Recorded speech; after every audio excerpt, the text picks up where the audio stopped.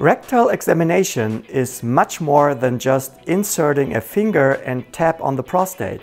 In this step-by-step -step guide, I will explain to you how I do a DRE and what I pay attention to.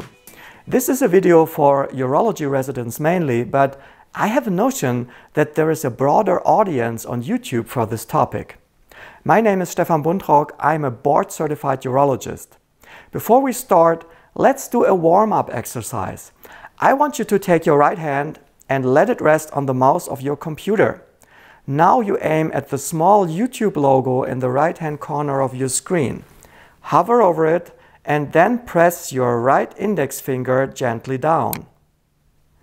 Now you move your mouse to these two symbols and do the same. Great. For the digital rectal examination or DRE, I need a glove and some examination jelly. Since I am right-handed, the patient is lying on his left side with the legs drawn towards his chest. First, I assess sphincter tone. There are a lot of variations and already here I get a first impression about the pelvic floor. In some patients, it is very weak. Others can crack walnuts with it.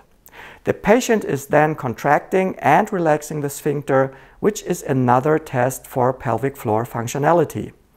Upon cough, the sphincter should contract. In some patients, I test the bulbocavernosus reflex. When squeezing the glands of the penis, the sphincter should contract. Don't ask me who found out about it. Next step is the pelvic floor. Pelvic floor muscle tone is assessed by palpation 360 degrees. In some patients, trigger points are possible. These are spots in the musculature which hurt when I press on them with the finger. Before I focus on the prostate, I evaluate the anus and rectum for possible tumors. When all of this is cleared, then I palpate the prostate. I find prostate size very tricky because the organ comes in different shapes and I have to say, I don't trust my finger on size. Therefore, I always measure prostate size by transrectal ultrasound. Prostate tissue is quite elastic. Firm or even hard areas and palpable nodules may be suggestive of cancer. This part is also tricky because there are benign conditions of the prostate which resemble cancer upon palpation. But together with the prostate-specific antigen, the diagnostic accuracy improves.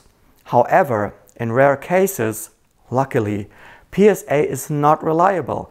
Therefore, DRE is important in prostate cancer diagnosis. I know that many of you will be asking themselves, who in the world would choose urology as a specialty? If you ask me, there are far more challenging areas to work in, like colorectal surgery. Sometimes dermatology isn't particularly yummy either. At the end of the day, it's my job and I got used to it. Somebody has to do it. Do the patients enjoy the examination? No, I can't say they do. Most of them are glad when it's over. And this video is over too. You may relax now. Thanks for watching. Bye bye.